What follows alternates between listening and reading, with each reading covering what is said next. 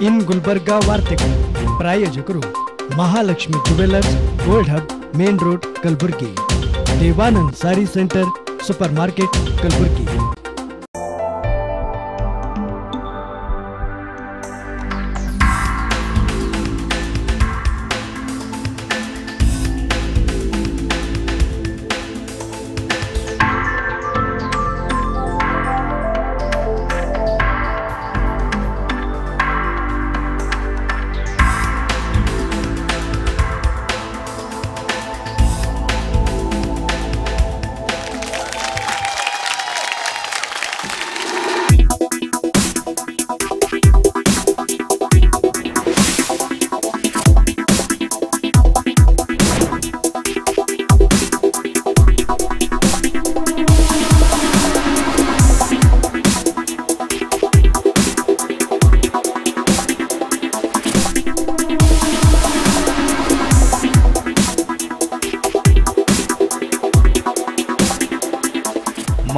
Mahalakshmi jewellers gold hub opposite KPN hospital main road Gulbarga ವಿಶ್ವಾಸಕ್ಕೆ ಮತ್ತೊಂದು ಹೆಸರೇ Mahalakshmi jewellers Devanand sari centre.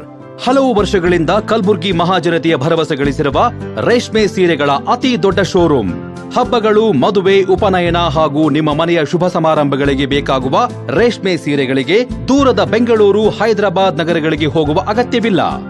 Devanand sari centre ನೀಡುತ್ತಿದೆ exclusive silk sari collections. Devanand sari ಸೆಂಟರ್ನಲ್ಲಿ ಈಗ ಮದುವೆ ಮುಂತಾದ ಶುಭ ಸಮಾರಂಭಗಳಿಗೆ ಕಾಂಚೀವರಂ ಸೇರಿದಂತೆ wedding brocade saris, pure Dharmavaram ಸೀರೆಗಳು, ಪ್ಯೂರ್ ಬನಾರಸ್ ಸೀರೆಗಳು, pure Uppada silk, pure Ilkal ಸೀರೆಗಳು, pure fancy Gadwal silk, pure Paithani ಸೀರೆಗಳು, ಪ್ಯೂರ್ ಸಾಫ್ಟ್ ಸಿಲ್ಕ್ ಸೀರೆಗಳು ವಿವಿಧ ವಿನ್ಯಾಸಗಳಲ್ಲಿ.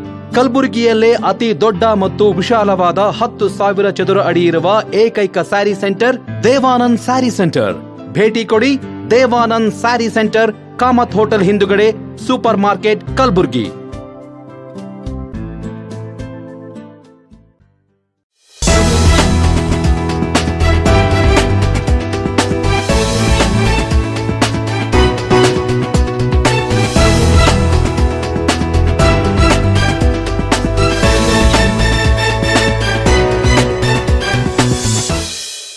ನಮಸ್ಕಾರ, ಇನ್ ಗುಲ್ಬರ್ಗ ವಾರ್ತೆಗಳಿಗೆ ಸ್ವಾಗತ. ಮೊದಲಿಗೆ ಹೆಡ್ಲೈನ್ಸ್.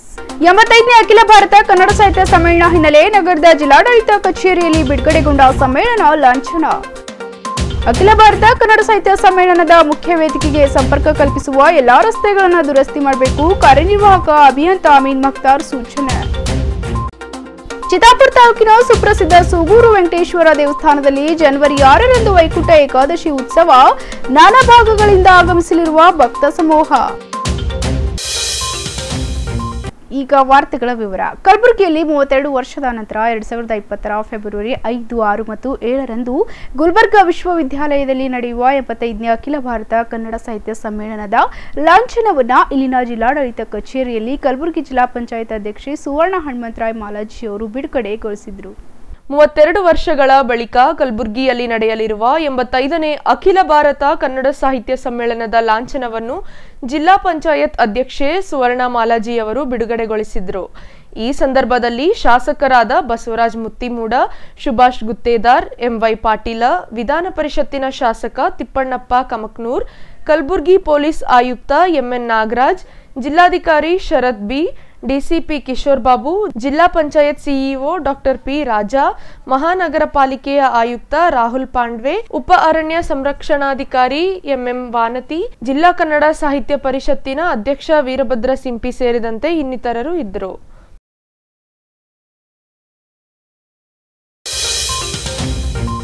ಗುಲ್ಬರ್ಗಾ ವಿಶ್ವವಿದ್ಯಾಲಯದಲ್ಲಿ ಫೆಬ್ರವರಿ ಐದು, ಆರು ಮತ್ತು ಏಳರಂದು ನಡೆಯುವ ಅಖಿಲ ಭಾರತ ಕನ್ನಡ ಸಾಹಿತ್ಯ ಸಮ್ಮೇಳನದ ಮುಖ್ಯ ವೇದಿಕೆಗೆ ಸಂಪರ್ಕ ಕಲ್ಪಿಸುವ ಎಲ್ಲಾ ರಸ್ತೆಗಳನ್ನು ದುರಸ್ತಿ ಮಾಡಬೇಕು ಹಾಗೂ ಅಗತ್ಯವಿದ್ದ ಕಡೆ ಹೊಸದಾಗಿ ನಿರ್ಮಾಣ ಮಾಡಬೇಕೆಂದು ಸಮ್ಮೇಳನದ ವೇದಿಕೆ ಸಮಿತಿ ಅಧ್ಯಕ್ಷರಾಗಿರುವ ಕಲಬುರಗಿ ದಕ್ಷಿಣ ಶಾಸಕರಾದ ದತ್ತಾತ್ರೇಯ ಪಾಟೀಲ್ ರೇವರವರು ಲೋಕೋಪಯೋಗಿ ಇಲಾಖೆಯ ಕಾರ್ಯನಿರ್ವಾಹಕ ಅಭಿಯಂತ ಅಮೀನ್ ಮಕ್ತಾರ್ ಅವರಿಗೆ ಸೂಚನೆ ನೀಡಿದರು.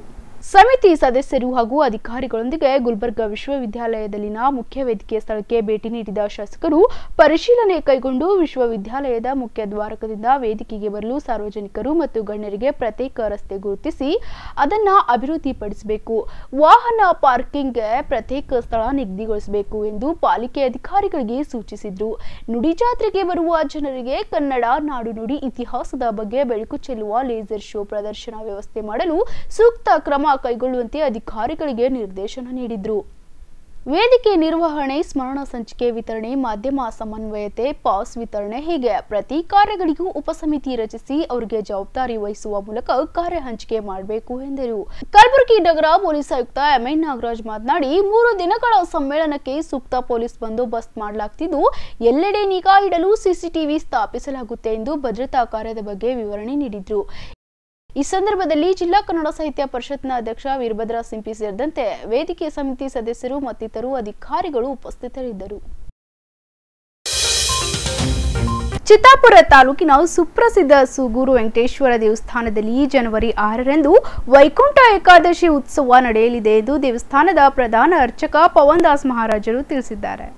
ವೈಕುಂಠ ಏಕಾದಶಿಯ ಆಚರಣೆಗೆ ಎಲ್ಲಾ ಸುಗುರು ವೆಂಕಟೇಶ್ವರ ದೇವಾಲಯ ಸಜ್ಜಾಗಿದ್ದು ಜನವರಿ ಆರರಂದು ಏಕಾದಶಿಯ ಆಚರಣೆ ನಡೆಯಲಿದೆ. ಸೂರ್ಯನು ಉತ್ತರಾಯಣಕ್ಕೆ ಬದಲಾಗುವ ಮೊದಲು ಬರುವ ಧನುರ್ಮಾಸದ ಶುದ್ಧ ಏಕಾದಶಿಯನ್ನೇ ವೈಕುಂಠ ಏಕಾದಶಿ ಎಂದು ಕರೆಯುತ್ತಾರೆ. ವೈಕುಂಠ ಏಕಾದಶಿಯ ದಿನ ಉಪವಾಸವಿದ್ದು ಮಹಾವಿಷ್ಣುವಿನ ದರ್ಶನ ಮಾಡಿ ವೈಕುಂಠ ದ್ವಾರದ ಮೂಲಕ ಹೊರಬಂದರೆ ಏಳೇಳು ಜನ್ಮದಲ್ಲಿ ಮಾಡಿರುವ ಪಾಪಗಳು ನಿವಾರಣೆಯಾಗಿ ಮೋಕ್ಷ ಸಿಗುವುದೆಂಬ ನಂಬಿಕೆ ಇದೆ. ಅಲ್ಲದೆ ಈ ಏಕಾದಶಿಯ ದಿನ ಅಭ್ಯಂಜನ ಮಾಡಿ ಶ್ರೀನಿವಾಸ ಉತ್ಸವ ಮೂರ್ತಿಯ ಜೋಕಾಲಿಗೆ ತಲೆ ತಾಕಿಸಿ ವೈಕುಂಠ ದ್ವಾರದಿಂದ ಹೊರಬಂದರೆ ಮುಕ್ತಿಯು ದೊರೆಯುವುದೆಂದು ಹೇಳಲಾಗುತ್ತದೆ. ಚಿತ್ತಾಪುರ ತಾಲೂಕಿನ ಸೂಗೂರು ವೆಂಕಟೇಶ್ವರ ದೇವಸ್ಥಾನದಲ್ಲಿ ಜನವರಿ ಆರರಂದು ವೈಕುಂಠ ಏಕಾದಶಿ ಉತ್ಸವ ನಡೆಯಲಿದೆ ಹಾಗೂ ಏಳರಂದು ದ್ವಾದಶಿ ಇದ್ದು, ಈ ಸಂದರ್ಭದಲ್ಲಿ ಉತ್ತರ ದ್ವಾರ ದರ್ಶನ ಮಾಡಲು ರಾಜ್ಯದ ನಾನಾ ಭಾಗಗಳಿಂದ ಭಕ್ತರು ಆಗಮಿಸಲಿದ್ದಾರೆಂದು ಶ್ರೀ ಸ್ವಾಮಿ ಹಾತಿರಾಮ್ಜಿ ವೆಂಕಟೇಶ್ವರ ದೇವಸ್ಥಾನದ ಪ್ರಧಾನ ಅರ್ಚಕ ಪವನ್ ದಾಸ್ ಮಹಾರಾಜರು ಮಾಹಿತಿ ನೀಡಿದರು.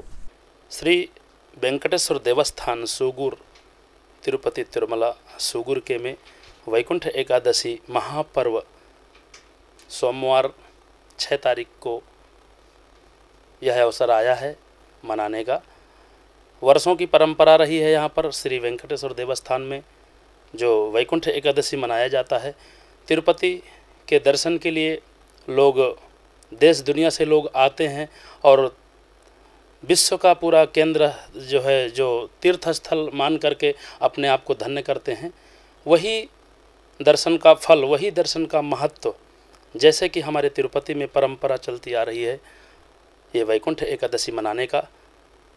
मनुष्य कर्म करता है, नाना प्रकार के उपाय करता है, लेकिन जो वैकुंठ एकादशी वर्षों से इंतज़ार रहता है, यह एक अवसर आया है। वैकुंठ एकादशी वर्ष का एक ऐसा एकादशी है कि भगवान योग निद्रा में, क्षीर सागर में जब भगवान योग निद्रा में जो है सूर्य दक्षिणायन में भगवान का सोने का समय होता है और यह वैकुंठ एकादशी ही योग निद्रा से जागकर भगवान उत्तर द्वार में आते हैं, दर्शन देते हैं, सब मनुष्य दर्शन करके अपने आप को धन्य करते हैं।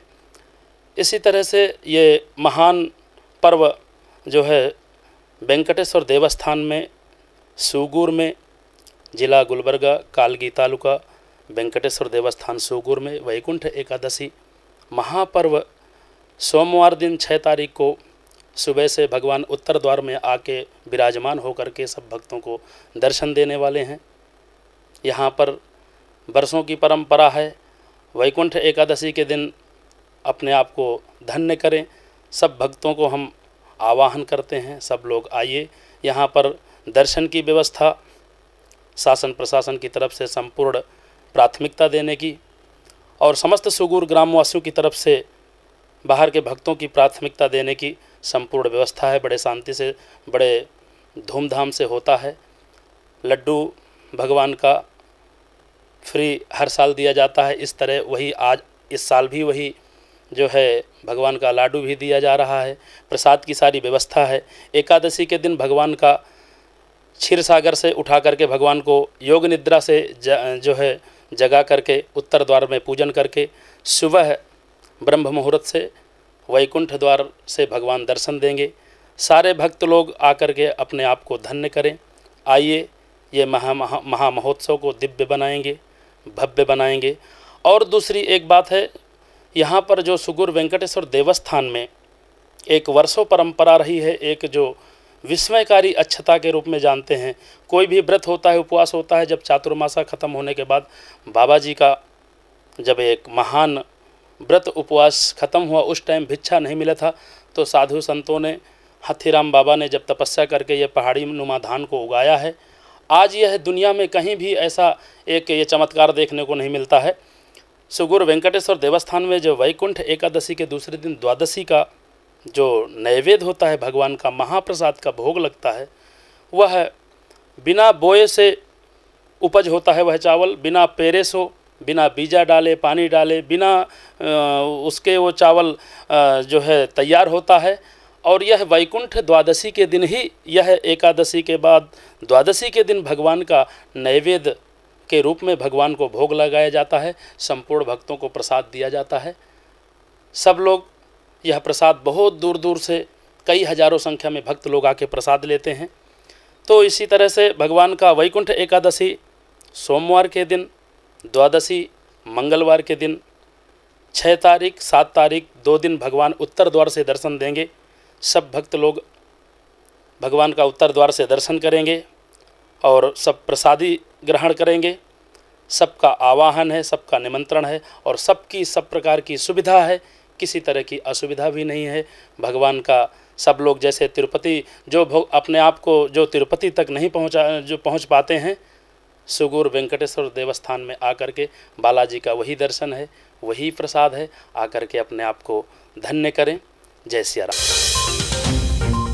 ಈಗ ಪುಟ್ಟದೊಂದು ವಿರಾಮ ವಿರಾಮದ ನಂತರ ಇನ್ನಷ್ಟು ಸುದ್ದಿಗಳನ್ನ ನಿರೀಕ್ಷಿಸಿ. ಪೌರತ್ವ ಕಾಯ್ದೆ ಕುರಿತು ಜನರಲ್ಲಿ ಅರಿವು ಮೂಡಿಸಲು ಜನವರಿ ಹನ್ನೊಂದರಂದು ಬೃಹತ್ ರ್ಯಾಲಿ ಆಯೋಜನೆ. ಕಲಬುರಗಿ ನಾಗರಿಕ ಸಮಿತಿ ಮುಖಂಡರಾದ ಲಿಂಗರಾಜಪ್ಪ ಅಪ್ಪ.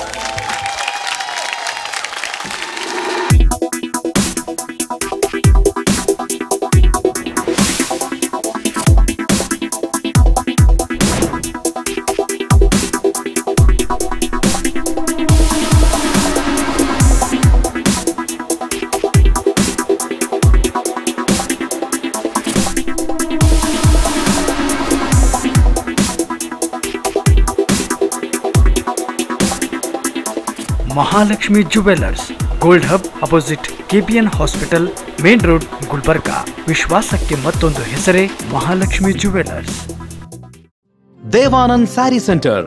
ಹಲವು ವರ್ಷಗಳಿಂದ ಕಲಬುರ್ಗಿ ಮಹಾಜನತೆಯ ಭರವಸೆ ಗಳಿಸಿರುವ ರೇಷ್ಮೆ ಸೀರೆಗಳ ಅತಿ ದೊಡ್ಡ ಶೋರೂಮ್ ಹಬ್ಬಗಳು, ಮದುವೆ, ಉಪನಯನ ಹಾಗೂ ನಿಮ್ಮ ಮನೆಯ ಶುಭ ಸಮಾರಂಭಗಳಿಗೆ ಬೇಕಾಗುವ ರೇಷ್ಮೆ ಸೀರೆಗಳಿಗೆ ದೂರದ ಬೆಂಗಳೂರು, ಹೈದರಾಬಾದ್ ನಗರಗಳಿಗೆ ಹೋಗುವ ಅಗತ್ಯವಿಲ್ಲ.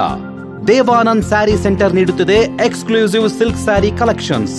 Devanand sari ಸೆಂಟರ್ನಲ್ಲಿ ಈಗ ಮದುವೆ ಮುಂತಾದ ಶುಭ ಸಮಾರಂಭಗಳಿಗೆ ಕಾಂಚೀವರಂ ಸೇರಿದಂತೆ wedding bracket saris, pure Dharmavaram ಸೀರೆಗಳು, ಪ್ಯೂರ್ ಬನಾರಸ್ ಸೀರೆಗಳು, pure Uppada silk, pure Ilkal ಸೀರೆಗಳು, pure fancy Gadwal silk, pure Paithani ಸೀರೆಗಳು, ಪ್ಯೂರ್ ಸಾಫ್ಟ್ ಸಿಲ್ಕ್ ಸೀರೆಗಳು ವಿವಿಧ ವಿನ್ಯಾಸಗಳಲ್ಲಿ. ಕಲಬುರಗಿಯಲ್ಲೇ ಅತಿ ದೊಡ್ಡ ಮತ್ತು ವಿಶಾಲವಾದ ಹತ್ತು ಸಾವಿರ ಚದುರ ಅಡಿ ಇರುವ ಏಕೈಕ ಸ್ಯಾರಿ ಸೆಂಟರ್ ದೇವಾನಂದ್ ಸ್ಯಾರಿ ಸೆಂಟರ್. ಭೇಟಿ ಕೊಡಿ ದೇವಾನಂದ್ ಸ್ಯಾರಿ ಸೆಂಟರ್, ಕಾಮತ್ ಹೋಟೆಲ್ ಹಿಂದುಗಡೆ, ಸೂಪರ್ ಮಾರ್ಕೆಟ್, ಕಲ್ಬುರ್ಗಿ.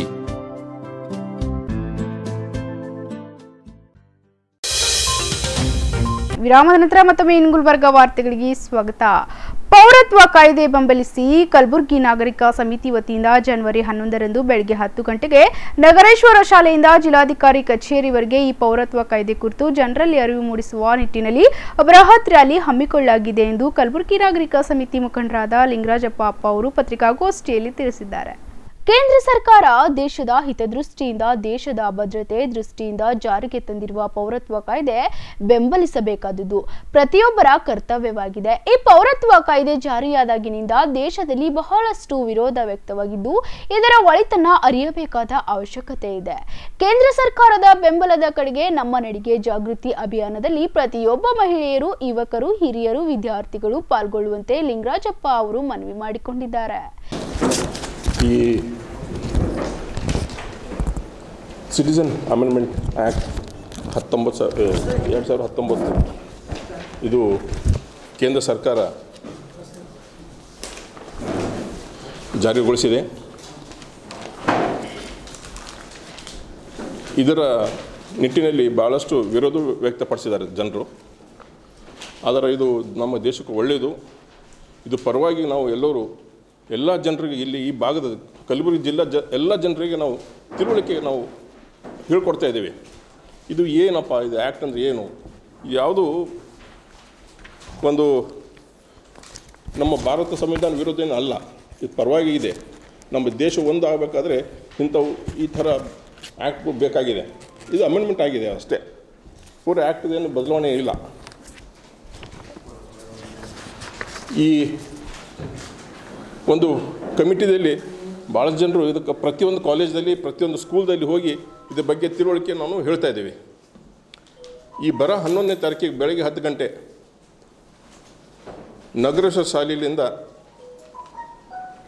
ವಲ್ಲಭಾಯ್, ಸರ್ದಾರ್ ವಲ್ಲಭಾಯ್ ಪಟೇಲ್ರ ಚೌಕ ನಾವು ಒಂದು ಮೆರವಣಿಗೆ ಮಾಡ್ತಾಯಿದ್ದೀವಿ ಇದರ ಬಗ್ಗೆ ತಾವು ಮಾಧ್ಯಮದವರು ಒಂದು ಜನರಲ್ಲಿ ಇದ್ರ ಬಗ್ಗೆ ಒಳ್ಳೆಯದನ್ನು ಮೂಡಿಸ್ಬೇಕು ಅಂತ ಹೇಳಿ ಮನವಿ ನಿಮ್ಮಲ್ಲಿ ಕೇಳ್ಕೊತಾ ಇದ್ದೇನೆ. ಈ ಸಂದರ್ಭದಲ್ಲಿ ಬಸವರಾಜ್ ನಾಸಿ ರಮಾನಂದ್ ಉಪಾಧ್ಯಾಯ, ವಿಶಾಲ್ ದರ್ಗೆ ಶರಣಬಸಪ್ಪ ಅಂಬೇಸಿಂಗೆ ಸೇರಿದಂತೆ ಅನೇಕರು ಉಪಸ್ಥಿತರಿದ್ದರು. ಭಾರತ ಚುನಾವಣಾ ಆಯೋಗದ ನಿರ್ದೇಶನದಂತೆ ವಿಶೇಷ ಮತದಾರರ ಪಟ್ಟಿ ಪರಿಷ್ಕರಣೆ ಹಿನ್ನೆಲೆಯಲ್ಲಿ ಅರ್ಹತಾ ದಿನಾಂಕ ಒಂದು ಒಂದು ಎರಡ್ ಸಾವಿರದ ಇಪ್ಪತ್ತು ಆಧರಿಸಿ ಎರಡ್ ಸಾವಿರದ ಇಪ್ಪತ್ತರ ಜನವರಿ ಒಂದಕ್ಕೆ ಅನ್ವಯಿಸುವಂತೆ ಹದಿನೆಂಟು ವರ್ಷ ಪೂರೈಸಿದ ಯುವ ಮತದಾರರು ಹಾಗೂ ಸಾರ್ವಜನಿಕರು ಮತದಾರರ ಪಟ್ಟಿಯಲ್ಲಿ ತಮ್ಮ ಹೆಸರು ನೋಂದಣಿಗಾಗಿ ಇದೇ ಜನವರಿ ಆರು, ಏಳು ಹಾಗೂ ಎಂಟರಂದು ಮತದಾರರ ಮಿಂಚಿನ ನೋಂದಣಿ ಕಾರ್ಯಕ್ರಮವನ್ನು ಆಯೋಜಿಸಲಾಗಿದೆ ಎಂದು ಕಲಬುರಗಿ ಜಿಲ್ಲಾ ಚುನಾವಣಾಧಿಕಾರಿಗಳು ಹಾಗೂ ಜಿಲ್ಲಾಧಿಕಾರಿ ಬಿ. ಶರತ್ ಅವರು ತಿಳಿಸಿದ್ದಾರೆ. ಯುವ ಮತದಾರರು ಹಾಗೂ ಸಾರ್ವಜನಿಕರು ನಮೂನೆ ಆರನ್ನ ಅಂತರ್ಜಾಲದಲ್ಲಿ ಅಥವಾ ನೇರವಾಗಿ ಭರ್ತಿ ಮಾಡಿ ಪೂರಕ ದಾಖಲೆಗಳೊಂದಿಗೆ ಕಡ್ಡಾಯವಾಗಿ ತಮ್ಮ ಹತ್ತಿರದ ಮತಗಟ್ಟೆ ಅಧಿಕಾರಿಗಳ ಮೂಲಕ ಮತದಾರರ ನೋಂದಣಾಧಿಕಾರಿಗಳ ಅಥವಾ ಸಹಾಯಕ ಮತದಾರರ ನೋಂದಣಾಧಿಕಾರಿಗಳ ಕಚೇರಿಗೆ ಸಲ್ಲಿಸಿ ನೋಂದಾಯಿಸಿಕೊಳ್ಬೇಕು. ಮೇಲ್ಕಂಡ ದಿನಾಂಕಗಳಂದು ಸಾರ್ವಜನಿಕರು ಯುವ ಮತದಾರರು ಹೆಚ್ಚಿನ ಸಂಖ್ಯೆಯಲ್ಲಿ ಭಾಗವಹಿಸಿ ಚುನಾವಣಾ ಆಯೋಗದ ಈ ಒಂದು ಮಿಂಚಿನ ನೋಂದಣಿ ಕಾರ್ಯಕ್ರಮದ ಸದುಪಯೋಗ ಪಡೆದುಕೊಂಡು ನಮೂನೆ ಅರ್ಜಿ ಆರರಲ್ಲಿ ಭರ್ತಿ ಮಾಡುವ ಮೂಲಕ ಮತದಾರರ ಪಟ್ಟಿಯಲ್ಲಿ ಹೆಸರು ನೋಂದಣಿ ಮಾಡಿಕೊಳ್ಬೇಕು. ಈ ಮಿಂಚಿನ ನೋಂದಣಿ ದಿನಾಂಕಗಳಾದ ಜನವರಿ ಆರು, ಏಳು ಮತ್ತು ಎಂಟರಂದು ಸಂಬಂಧಪಟ್ಟ ಮತಗಟ್ಟೆ ಅಧಿಕಾರಿಗಳು ತಮ್ಮ ತಮ್ಮ ಮತಗಟ್ಟೆಗಳಲ್ಲಿ ಹಾಜರಿದ್ದು ಮತದಾರರ ನೋಂದಣಿಗಾಗಿ ಹೆಚ್ಚಿನ ಸಂಖ್ಯೆಯಲ್ಲಿ ಅರ್ಜಿಗಳನ್ನ ಸ್ವೀಕರಿಸಬೇಕು. ಸಂಬಂಧಪಟ್ಟ ಉಪತಹಸೀಲ್ದಾರರು ಕಂದಾಯ ನಿರೀಕ್ಷಕರು ಹಾಗೂ ಗ್ರಾಮ ಲೆಕ್ಕಿಗರು ತಮ್ಮ ವ್ಯಾಪ್ತಿಗೆ ಒಳಪಡುವ ಎಲ್ಲಾ ಶಾಲಾ ಕಾಲೇಜುಗಳಲ್ಲಿ ಮೇಲ್ಕಂಡ ದಿನಾಂಕದಂದು ಕಡ್ಡಾಯವಾಗಿ ಹಾಜರಿದ್ದು, ಮತದಾರರ ಪಟ್ಟಿಯಲ್ಲಿ ಹೆಸರು ನೋಂದಣಿಗಾಗಿ ಯುವ ಮತದಾರರಿಂದ ಅರ್ಜಿ ಸ್ವೀಕರಿಸಬೇಕು. ಮತದಾರರು ಈ ಮಿಂಚಿನ ನೋಂದಣಿ ಕಾರ್ಯಕ್ರಮದ ಸದುಪಯೋಗ ಪಡೆದುಕೊಳ್ಬೇಕೆಂದು ಅವರು ತಿಳಿಸಿದ್ದಾರೆ. ವಿವೇಕಾನಂದ ವಿದ್ಯಾನಿಕೇತನ ಆಂಗ್ಲ ಮಾಧ್ಯಮ ಶಾಲೆಯ ವಾರ್ಷಿಕ ಕ್ರೀಡಾಕೂಟವನ್ನು ನಗರದ ಚಂದ್ರಶೇಖರ ಪಾಟೀಲ ಕ್ರೀಡಾಂಗಣದಲ್ಲಿ ಆಯೋಜಿಸಲಾಗಿತ್ತು ವಿಧಾನ ಪರಿಷತ್ನ ಸದಸ್ಯ ಬಿಜಿ ಪಾಟೀಲ್ ಅವರು ಧ್ವಜ ಹಾರಿಸುವ ಮೂಲಕ ಸಮಾರಂಭವನ್ನು ಉದ್ಘಾಟಿಸಿದರು.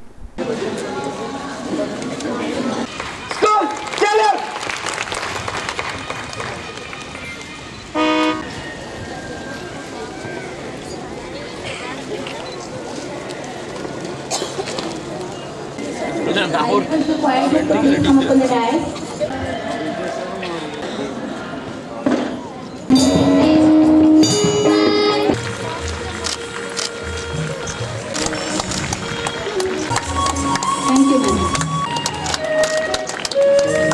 You can see how majestically the students of Delta House are marching, following the leaders. And Commander salutes the guests on the stage and the guests receive sir. They reciprocate so beautifully. Sneha, commander gives command to salute the dignitaries and all the students in the first row. It is headed by Akshay. And all the guests receive their respect respectfully.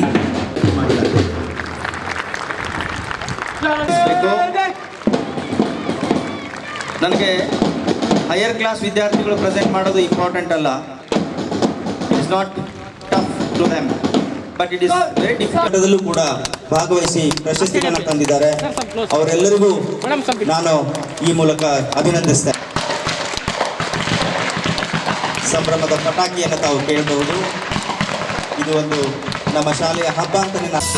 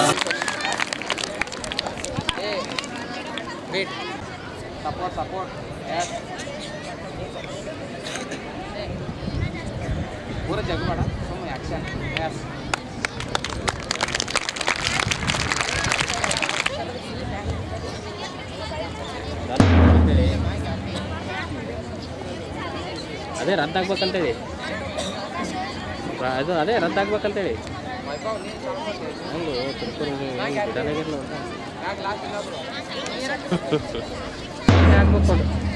ನೀನೇ ಹಾಕ್ಬೇಕು ಇರಂಗಿಲ್ಲ. ಸಮಾರಂಭವನ್ನುದ್ದೇಶಿಸಿ ಮಾತನಾಡಿದ busy Patil ಅವರು, ವಿವೇಕಾನಂದ ವಿದ್ಯಾನಿಕೇತನ ಶಾಲೆಯವರು ಆಯೋಜಿಸಿರುವ ಈ ಕ್ರೀಡಾಕೂಟ ಮಕ್ಕಳಲ್ಲಿ ಹೊಸ ಚೈತನ್ಯ, ಹುರುಪು ಮೂಡಿಸಿದಂತೆ ಮಕ್ಕಳು ಕ್ರೀಡೆಯಲ್ಲಿ ಪಾಲ್ಗೊಳ್ಳುವುದರಿಂದ ಮಾನಸಿಕವಾಗಿ ಹಾಗೂ ದೈಹಿಕವಾಗಿ ಸದೃಢರನ್ನಾಗಿಸುತ್ತದೆ ಎಂದರು. ಇದು ಅಚ್ಚುಕಟ್ಟಾಗಿ, ಬಹಳ ಸಿಸ್ಟಮೆಟಿಕ್ ಆಗಿ ತಮ್ಮ ಹತ್ತಿರ ಜಾಗ ಇಲ್ಲಂದ್ರೂ ಇಷ್ಟೆಲ್ಲ ದುಡ್ಡು ಖರ್ಚು ಮಾಡಿ ಈ ಈ ಸ್ಟೇಡಿಯಂ ಒಳಗೆ ತೊಗೊಂಡು ಇಷ್ಟೆಲ್ಲ ಪೇರೆಂಟ್ಸ್ಗಳಿಗೆ ಕರ್ಕೊಂಡು ಬಂದು ಇಷ್ಟು ಇದೆಲ್ಲ ಕಾರ್ಯಕ್ರಮ ಮಾಡೋದು ಸಾಮಾನ್ಯ ಮಾತಲ್ಲ. ಅದು ಭಗವತಿಯವ್ರದ್ದು ಮನಸ್ಸಿನೊಳಗೆ ಒಳ್ಳೆಯ ಎಜುಕೇಷನ್ ಕೊಡಬೇಕು ಇಲ್ಲಿ ಜನಕ್ಕೆ. ಮತ್ತು ಅವರು ಭಾಳ ಒಳ್ಳೆಯ ಆದರ್ಶ ಮನುಷ್ಯರು. ನಮಗೆ ಅವ್ರಿಗೆ ಅವ್ರಿಗೆ ನೋಡಿದ್ರೆ ತುಂಬ ಪ್ರೀತಿ ಆಗ್ತದೆ. ಮತ್ತು ಈ ಈ ಕಾರ್ಯಕ್ರಮ ನೋಡಿದ್ರೆ ನಮ್ಗೆ ಹಿಂಗೆ ಅನಿಸ್ತಾ ಒಂದು ಎಲ್ಲಿ ಒಂದು ಆ, ಛ- ಛಬ್ಬೀಸ್ ಜನವರಿ, ಪಂದ್ರ ಆಗಸ್ಟ್ ಒಳಗೆ ಹೇಗೆ ಕಾರ್ಯಕ್ರಮ ಆಗ್ತಾವೆ. ಅದಕ್ಕಿಂತ ಅಚ್ಚುಕಟ್ಟವಾಗಿ ಆಗ್ಯದನ್ನು ಹೇಳಕ್ಕೆ ತುಂಬ ಹೆಮ್ಮೆಯಿಂದ ಹೇಳ್ಕೊಳ್ತೀನಿ.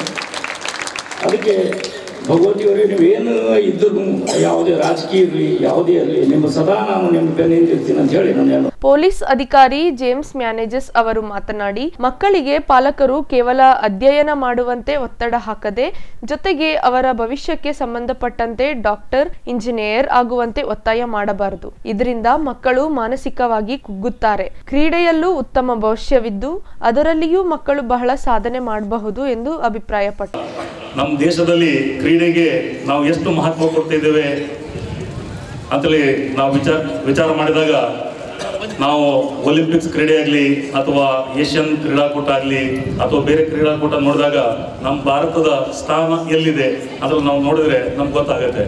ಇದಕ್ಕೆ ನಾವು ಬೇರೆ ಯಾರನ್ನು ದೂರ ಇದ್ರೆ ತಪ್ಪಾಗುತ್ತೆ. ಇದು ನಮ್ಮದೇ ತಪ್ಪಿದೆ. ನಾವು ಪೇರೆಂಟ್ಸ್ ಮಕ್ಕಳಿಗೆ ಏನು ಮಾಡ್ತೀವಿ ಅಂದರೆ ನಮಗೆ ಎರಡೇ ಗೊತ್ತಿರೋದು. ಒಂದು ನನ್ನ ಮಗ ಡಾಕ್ಟರ್ ಆಗಬೇಕು, ತಪ್ಪಿದ್ರೆ ಇಂಜಿನಿಯರ್ ಆಗಬೇಕು. ಇದು ಬಿಟ್ಟು ಬೇರೆ ಉದ್ಯೋಗ ನಮಗೆ ಪೇರೆಂಟ್ಸಿಗೆ I represent parents from this school parents ಪರವಾಗಿ ಪೋಷಕರ ಪ್ರತಿನಿಧಿಯಾಗಿ ಇದನ್ನ ಹೇಳಕ್ಕೆ ಇಷ್ಟಪಡ್ತಾ ಇದ್ದೇನೆ. ಇವತ್ತಿನ ದಿವಸ ಪೆರಡ್ ನೋಡಿದೆವು. ಪೇರೆಂಟ್ ಕಮಾಂಡರ್ ನನಗೆ ಹೆಸರು ಗೊತ್ತಿಲ್ಲ. Parade commander Vaibhav. ಅವ್ರದ್ದು ಟರ್ನ್ಔಟ್ ಚೆನ್ನಾಗಿತ್ತು. ಅವ್ರ ಬಾಡಿ ಲ್ಯಾಂಗ್ವೇಜ್ ಬಹಳ ಅದ್ಭುತವಾಗಿತ್ತು. ನಂದು ಇಪ್ಪತ್ಮೂರು ವರ್ಷ ಸರ್ವಿಸ್ ಆಗಿದೆ. ಪೊಲೀಸ್ ಇಲಾಖೆಯಲ್ಲಿ, ಶಿಸ್ತಿನ ಇಲಾಖೆಯಲ್ಲಿ. ನನಗೂ ಕೂಡ ಇವತ್ತಿನ ದಿವಸ ಪೆರಡ್ ಮಾಡೋಕೆ ಹೇಳಿದ್ರೆ ಆ ಲೆವೆಲ್ಗೆ ಪೆರಡ್ ಮಾಡಕ್ಕೆ ಆಗುತ್ತೆ ಅಂತ ನಾ ಹೇಳಕ್ಕೆ ಸಾಧ್ಯ ಇಲ್ಲ. ಅಷ್ಟು ಚೆನ್ನಾಗಿ ಮಾಡಿದ್ದಾರೆ.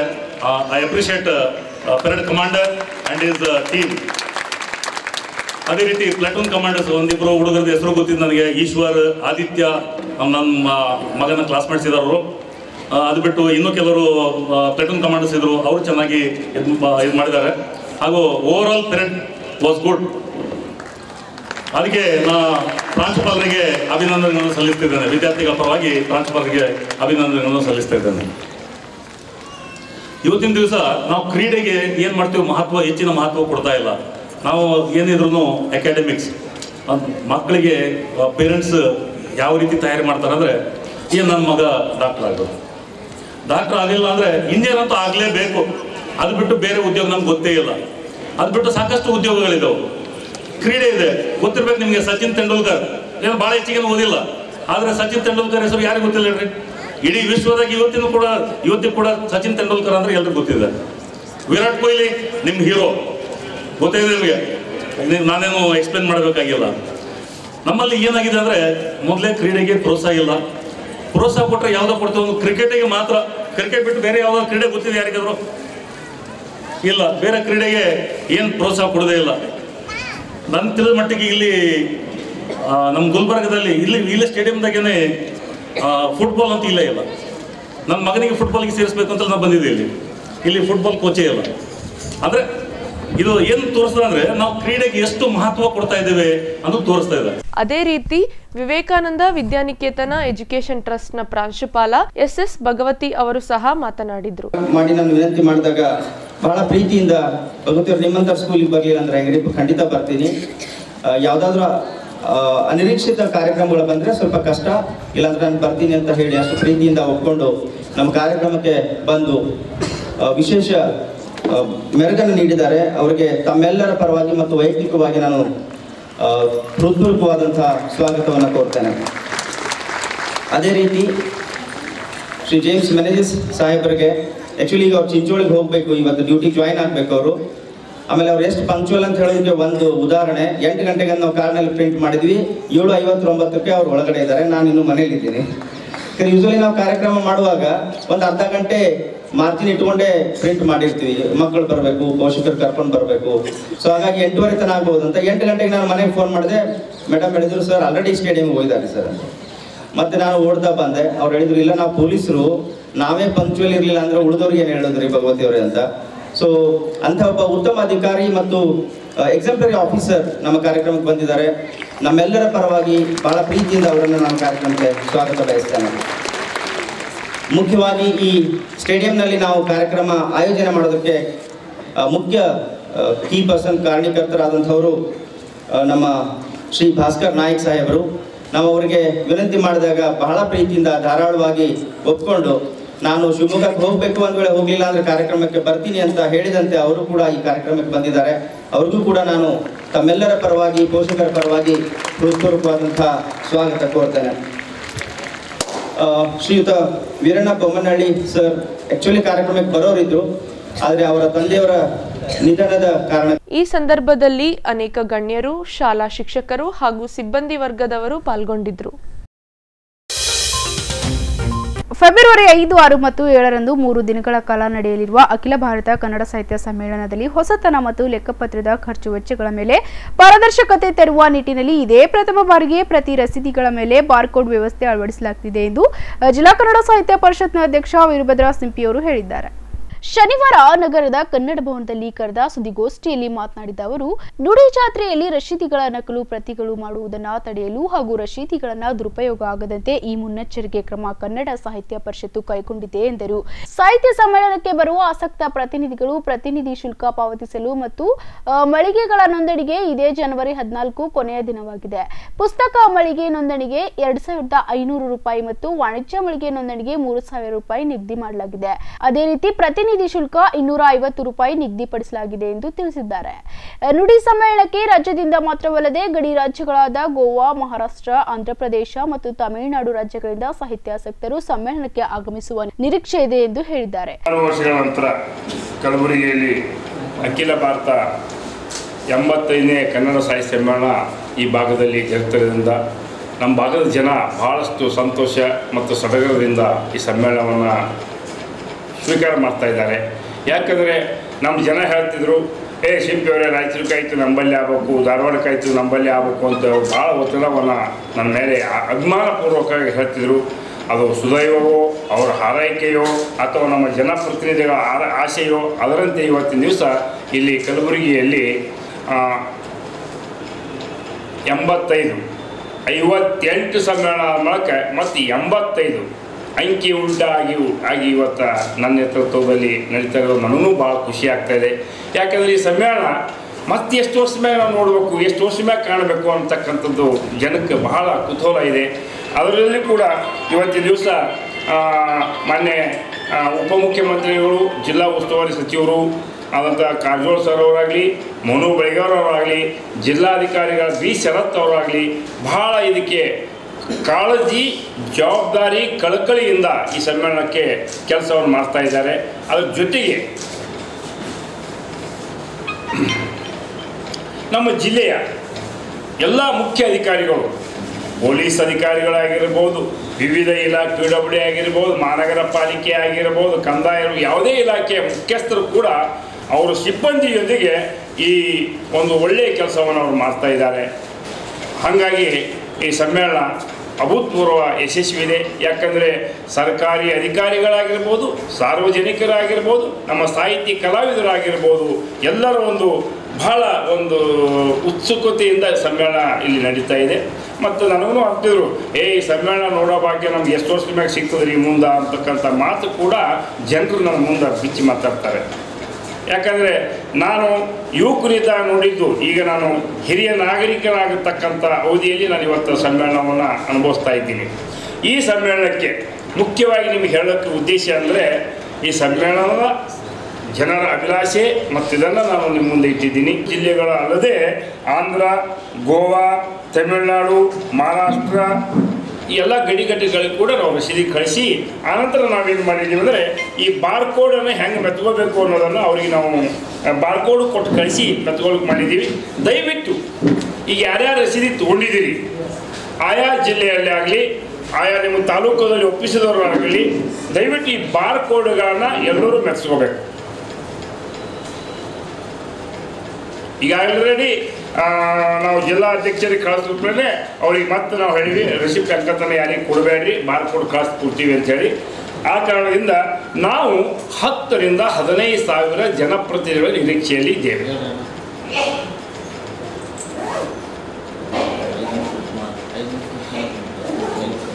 ಹತ್ತರಿಂದ ಹದಿನೈದು ಸಾವಿರ ಪ್ರತಿ ಸಣ್ಣ ಪ್ರತಿನಿಧಿಗಳಾಗಿ ನಿರೀಕ್ಷೆಯಲ್ಲಿದ್ದೀವಿ ಆಮೇಲೆ ಈ ನೋಂದಣಿಯನ್ನು ಹದಿನಾಲ್ಕನೇ ತಾರೀಕು ಕೊನೆಯ ದಿನಾಂಕ ಕೊಡಲಾಗಿದೆ, ಜನವರಿ ಹದಿನಾಲ್ಕು.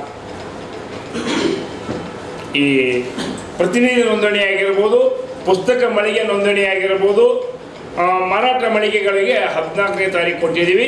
ನಾವು ಪುಸ್ತಕ ಮಳಿಗೆಗೆ ಐದು ನೂರು ನಾವು ಟಾರ್ಗೆಟ್ ಇದೆ ನಮ್ಮದು ಐದು ನೂರು ಪುಸ್ತಕ ಮಳಿಗೆಗಳು, ಮುನ್ನೂರು ವಾಣಿಜ್ಯ ಮಳಿಗೆಗಳು. ಸರ್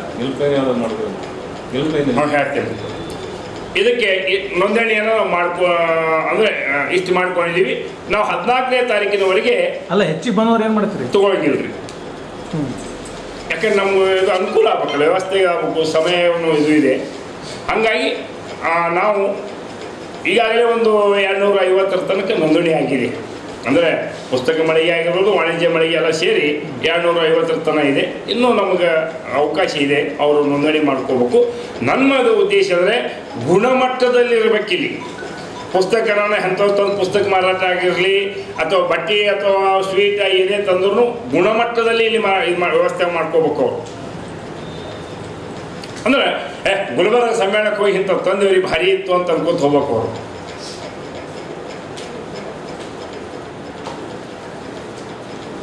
ಇಷ್ಟು ನಾವು ಈಗಾಗಲೇ ಇದು ಮಾಡಿದ್ದೀವಿ. ಈಗ ಗುಲ್ಬರ್ಗದಲ್ಲಿ ನಾವು ಕೌಂಟ್ರನ್ನು ಆರಂಭಿಸ್ತಾ ಇದ್ದೀವಿ. ಆರಂಭಿಸಿದ್ದೀವಿ ಕೌಂಟ್ರ್ ಗುಲ್ಬರ್ಗದಲ್ಲಿ ಯಾರಾದರೂ ಪ್ರತಿನಿಧಿಗಳು ಆಗಬೇಕಾಗಿದ್ದರೆ ಅವರು ಎರಡುನೂರ ಐವತ್ತು ರೂಪಾಯಿ ಕೊಟ್ಟು ಪ್ರತಿನಿಧಿ ಶುಲ್ಕವನ್ನು ಕೊಟ್ಟು ರಸೀದಿಯನ್ನು ಪಡಿಬೇಕು. ಆನಂತರ ತಾಲೂಕಾ ಅಧ್ಯಕ್ಷರು ಕೂಡ ನಾವು ಗುಲ್ಬರ್ಗ ಜಿಲ್ಲೆ ಎಲ್ಲ ತಾಲೂಕು ಅಧ್ಯಕ್ಷರಿಗೆ ಒಂದೊಂದು ಪುಸ್ತಕ ಕೊಟ್ಟಿದ್ದೀವಿ ಅವ್ರಿಗೂ ಕೊಟ್ಟಿದ್ದೀವಿ. ಪತ್ರಿಕಾಗೋಷ್ಠಿಯಲ್ಲಿ ಪರಿಷತ್ನ ಗೌರವ ಕಾರ್ಯದರ್ಶಿ ಮಡಿವಾಳಪ್ಪ ನಾಗ್ನಳ್ಳಿ ಕೋಶಾಧ್ಯಕ್ಷ ದೌಲತ್ರಾವ್ ಪಾಟೀಲ್, ಶಹಾಬಾದ್ ತಾಲೂಕಾಧ್ಯಕ್ಷ ಮೃತ್ಯುಂಜಯ ಹಿರೇಮಠ್, ಸುನಿಲ್ ಶೆಟ್ಟಿ, ಕನ್ನಡ ಸಾಹಿತ್ಯ ಪರಿಷತ್ ಕಾರ್ಯಕಾರಿಣಿ ಸದಸ್ಯ ಆನಂದ ರಂದಿರ್ಕರ್ ಹಾಗೂ ಇನ್ನಿತರರು ಉಪಸ್ಥಿತರಿದ್ದರು. ಕಲಬುರಗಿ ನಗರದ ವಿಟಿಎಸ್ಎಂ ಪೆರಿಫೆರಲ್ ಕ್ಯಾನ್ಸರ್ ಕೇಂದ್ರ ಅನಿವಾರ್ಯ ಕಾರಣದಿಂದ ಮುಚ್ಚಲಾಗಿದ್ದು, ಎರಡ್ ಸಾವಿರದ ಹದಿನಾರರಲ್ಲಿ ಪುನರಾರಂಭಿಸಲಾಗಿದೆ. ಇದೀಗ ಸದರಿ ಸಂಸ್ಥೆಗೆ ಅಗತ್ಯ ಉಪಕರಣಗಳನ್ನು ನೀಡಲು ಕಲ್ಯಾಣ ಕರ್ನಾಟಕ ಪ್ರದೇಶ ಅಭಿವೃದ್ಧಿ ಮಂಡಳಿ ಅನುದಾನ ಒದಗಿಸುವ ಮೂಲಕ ಸಂಸ್ಥೆಯ ಬಲವರ್ಧನೆಗೆ ಶ್ರಮಿಸುತ್ತಿದೆ ಎಂದು ಕಲಬುರಗಿ ದಕ್ಷಿಣ ಶಾಸಕ ದತ್ತಾತ್ರೇಯ ಪಾಟೀಲ್ ರೇವರವರು ಹೇಳಿದ್ದಾರೆ. ಶನಿವಾರ ಕಲಬುರಗಿ ಜಿಲ್ಲಾ ಆಸ್ಪತ್ರೆ ಆವರಣದ ಹಿಂಭಾಗದಲ್ಲಿರುವ ವಿಟಿಎಸ್ಎಂ ಪೆರಿಫೆರಲ್ ಕ್ಯಾನ್ಸರ್ ಕೇಂದ್ರದಲ್ಲಿ ಒಂದು ಪಾಯಿಂಟ್ ಮೂರು ಕೋಟಿ ರೂಪಾಯಿ ವೆಚ್ಚದಲ್ಲಿ mammography X ray patient couch ECG ಹಾಗೂ ರಕ್ತ ಪರೀಕ್ಷೆ ಸಾಧನಗಳು ಒಳಗೊಂಡ cancer detection case book unit ಹಾಗೂ ಇಪ್ಪತ್ತು ಲಕ್ಷ ರೂಪಾಯಿ ವೆಚ್ಚದಲ್ಲಿ ಸ್ಥಾಪಿಸಲಾಗಿರುವ ವಿದ್ಯುತ್ ಲಾಂಡ್ರಿ ಘಟಕವನ್ನು ಉದ್ಘಾಟಿಸಿ ಅವರು ಮಾತನಾಡಿದರು. ಇಲ್ಲಿನ ಕ್ಯಾನ್ಸರ್ ಕೇಂದ್ರ ಸಕಲ ಯಂತ್ರೋಪಕರಣ ಒಳಗೊಂಡಿದೆ ಹೈಟೆಕ್ ಆಸ್ಪತ್ರೆಯಾಗಿ ಮಾರ್ಪಟ್ಟಿದ್ದು, ಈ ಭಾಗದ ಬಡ ರೋಗಿಗಳು ಇಲ್ಲಿ ಚಿಕಿತ್ಸೆ ಪಡೆದು ರೋಗಮುಕ್ತರಾಗಬೇಕೆಂದು ಕರೆ ನೀಡಿದ್ರು. ಸಿಡಿಎಸ್ ಬಸ್ ಯೂನಿಟ್ ಪ್ರತಿ ತಿಂಗಳು ತಾಲೂಕು ಮತ್ತು ಹೋಬಳಿ ಮಟ್ಟದಲ್ಲಿ ಸಂಚರಿಸಿ ಕ್ಯಾನ್ಸರ್ ರೋಗದ ಬಗ್ಗೆ ಆಂದೋಲನ ರೂಪದಲ್ಲಿ ಜನರಲ್ಲಿ ಅರಿವು ಮೂಡಿಸುವುದಲ್ಲದೆ, ರೋಗದ ಬಗ್ಗೆ ಪತ್ತೆ ಹಚ್ಚುವ ಕೆಲಸವೂ ಮಾಡುತ್ತೆ. ಈ ಬಸ್ ಯೂನಿಟ್ ತಾಲೂಕು ಮತ್ತು ಹೋಬಳಿಯಲ್ಲಿ ಬಂದಾಗ ಕ್ಯಾನ್ಸರ್ ರೋಗದ ಬಗ್ಗೆ ಅನುಮಾನವಿರುವ ಜನರು ಇಲ್ಲಿ ಪರೀಕ್ಷೆಗೆ ಒಳಪಟ್ಟು ಖಚಿತವಾದಲ್ಲಿ ವಿಟಿಎಸ್ಎಂ ಪೆರಿಫೆರಲ್ ಕ್ಯಾನ್ಸರ್ ಕೇಂದ್ರಕ್ಕೆ ಬಂದು ಸೂಕ್ತ ಚಿಕಿತ್ಸೆ ಪಡೆಯಬೇಕು ಎಂದು ಹೇಳಿದ್ದಾರೆ. ಇಲ್ಲಿನ ಕ್ಯಾನ್ಸರ್ ಕೇಂದ್ರಗಳಲ್ಲಿ ಸೂಕ್ತ ಚಿಕಿತ್ಸೆ ಸೌಲಭ್ಯವಿಲ್ಲದ ಕಾರಣ ಈ ಭಾಗದ ಕ್ಯಾನ್ಸರ್ ರೋಗಿಗಳು ಚಿಕಿತ್ಸೆಗಾಗಿ ದೂರದ ಹೈದರಾಬಾದ್, ಬೆಂಗಳೂರು, ಸೋಲಾಪುರ್ ಹೋಗ್ತಾ ಇದ್ರು. ಇಲ್ಲಿ ಪ್ರಯಾಣಕ್ಕೆ ಹೆಚ್ಚಿನ ಹಣ ವ್ಯಯ ಮಾಡಬೇಕಾಗಿತ್ತು. ಇದೀಗ ಇಲ್ಲಿಯೇ ಸಕಲ ಸೌಲಭ್ಯದೊಂದಿಗೆ ಕ್ಯಾನ್ಸರ್ ಕೇಂದ್ರ ನಿರ್ವಹಿಸುತ್ತಿರುವುದರಿಂದ ಬಡ ರೋಗಿಗಳಿಗೆ ಇದು ವರದಾನವಾಗಿದೆ. ಬಿಪಿಎಲ್ ಅಥವಾ ಆರೋಗ್ಯ ಕಾರ್ಡ್ ತೋರಿಸಿ ರೋಗದ ಬಗ್ಗೆ ಸಂಪೂರ್ಣ ಉಚಿತ ಚಿಕಿತ್ಸೆ ಪಡೆಯಬಹುದಾಗಿದೆ ಎಂದರು. ಕಾರ್ಯಕ್ರಮದಲ್ಲಿ ಕಿದ್ವಾಯಿ ಸ್ವಾರ್ಥಕ ಗ್ರಂಥಿ ಸಂಸ್ಥೆಯ ನಿರ್ದೇಶಕ doctor Ramachandra Gowda Kalaburagi V T S M peripheral cancer ಕೇಂದ್ರದ ಪ್ರಭಾರಿ ಅಧಿಕಾರಿ ಡಾಕ್ಟರ್ ಗುರುರಾಜ್ ದೇಶಪಾಂಡೆ ಸೇರಿದಂತೆ ಸಂಸ್ಥೆಯ ಸಿಬ್ಬಂದಿಗಳು, ಸಾರ್ವಜನಿಕರು, ರೋಗಿಗಳು ಉಪಸ್ಥಿತರಿದ್ದರು. ಹೈದರಾಬಾದ್ ಕರ್ನಾಟಕ ಜನಪರ ಹೋರಾಟ ಸಂಘರ್ಷ ಸಮಿತಿ ವತಿಯಿಂದ ತ್ರೀ ಸೆವೆಂಟಿ ಜೆ ಕಲಂ ತಿದ್ದುಪಡಿ ಪಡೆದಿರುವ ಕಲ್ಯಾಣ ಕರ್ನಾಟಕ ಪ್ರದೇಶದ ಸಮಸ್ಯೆ ಮತ್ತು ಸವಾಲುಗಳು ಹಾಗೂ ಅಭಿವೃದ್ಧಿಯ ಕುರಿತು ಸಮಾಲೋಚನಾ ಸಭೆ ಆಯೋಜಿಸಲಾಗಿತ್ತು.